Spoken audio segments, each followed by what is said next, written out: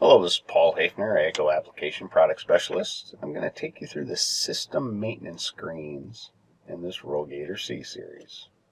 To access system maintenance, you have two ways you can get in there. You can hit the system maintenance icon on the white switch on the armrest, or you can the upper left-hand corner button, you can hit the system maintenance icon on the screen. It brings you into this screen here. And this is where you have the options for your full system recovery, your rinse options, your air boom cleanout, as well as a valve map. The next icon that we have is for the rinse features. In here we have three different rinse options. I have the rinse tank, which rinses the main product tank. Have the rinse plumbing, which takes care of the plumbing on the machine itself, all the way out to the boom tips. And then we have a, what's called a rinse out nozzles which leaves the product tank alone, but then just rinses the boom plumbing and then sprays that out the nozzles. To go into one of them, you'll hit the go button.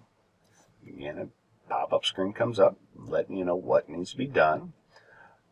So close the bypass valve, open the blue rinse valve, set the three-way valve to the tank rinse position, and then if you have a manual sump, making sure that that is open.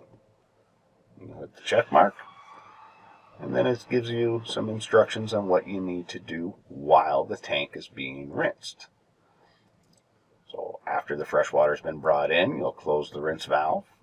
You can open your white bypass valve to make sure that that is being rinsed. And then you'll operate the agitation or your sparge valve. Go full open to full closed with that. And then if the machine is equipped with an eductor, you'll make sure that you switch your rinse valve over to the eductor position to rinse it as well. Once you've completed all of them, you come back and you'll hit the check mark, and that will shut the pump off, close the valves, and you're ready to move on to the next step. Next we have the rinse plumbing. So if we hit the go on there, and it gives you a little information first. Plumbing rinse will push product back into the product tank, and it's asking if you want to continue. So if you had product left in the tank and you wanted to rinse your boom plumbing, it's just letting you know that rinse water is coming back in. This may not be the right option for you.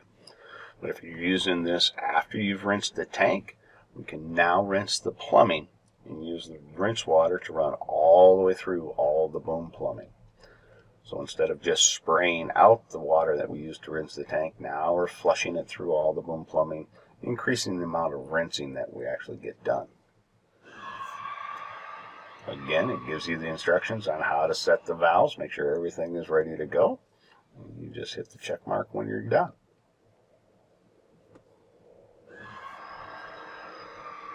Now, if you're in a situation where you have product left in the product tank, but you want to rinse out the boom plumbing, that's what the last option here is for.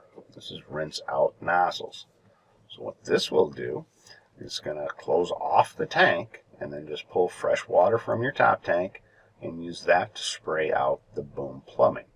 And it's going to spray out the nozzles.